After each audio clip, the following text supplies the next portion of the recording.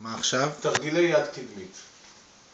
תרגיל ראשון קלאסי עם שתי הידיים ביחד, הוא נוח כי הוא חוסך זמן, אנחנו שמים את שתי הרגליים מפה, מודדים ובוחרים את מידת הדרגת קושי והמתח של הגומייה.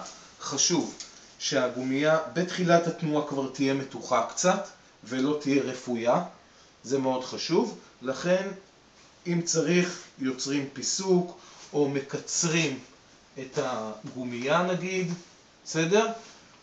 וברגע שמוכנים, המנח שוב, כפיפת ברכיים, מבט קדימה, חזה עולה, בסדר? תשים לב, הכתפיים שלי לא הולכות אחורה, אלא פשוט מתרוממות בגלל שהחזה, אני מרים אותו, כתפיים מתיישרות. מפה אני מקבע את המרפק צמוד למותן, וזה מאוד חשוב, זה העוגן שלי, ואני מעלה את הידיים. בסדר? עד לפה. גם פה, אם אין מתח בסוף, זה אומר שאנחנו נחים. לכן המתח בתחילת התרגיל מאוד חשוב. שתיים, שלוש, ארבע, זה הקצב.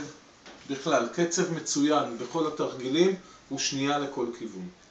בסדר? תרגיל נוסף, אם רוצים לעבוד, אתה יכול לכבות.